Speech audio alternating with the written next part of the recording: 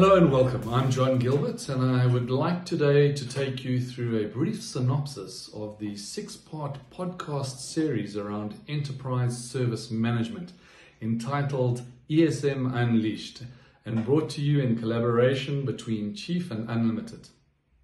In Series 1, Elevating Your Business to New Heights, co founders Dewald Duplessis and Chris Visagie of UnlimitIT lay the foundations for ESM and for anybody looking at embarking on the ESM journey, or for those who are in fact well along the road of embarking on that journey and looking to optimize their environment.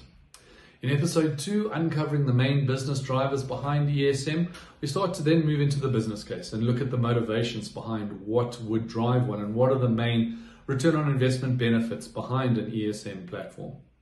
In episode three, how ESM can provide a platform of support Chris and Dewald are joined by industry expert CJ Joubert from the University of Pretoria. In episode 4, AI Not That Scary The Impact of Generative AI on Service Management, again, Dion and Chris are joined by Dion Clayton from OpenText, and they have an in depth look at AI in particular and how this impacts the ESM environment.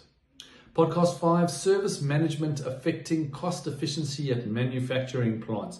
And once again, a special guest, Sion Bershoff, a hugely experienced gent as the head of ICT of a large and listed manufacturing environment where they're supporting in the region of five or 6,000 users, shares his uh, wealth of knowledge and, and, experience in this field and the journey he's been on going back to, to 2006 when he first started to engage with uh, Dewald and Chris and, and look at putting that uh, ESM environment in place. And then finally, podcast six learning from service management practices over the decades. This is a wrap up to the series brought to you from uh, OpenText event that was held earlier this month. And I'd really encourage you, if you've seen one or two of the series in the episodes and haven't seen all of them, to make sure you do have a look at all of them. Alternatively, to, to work your way through the series uh, from one to six.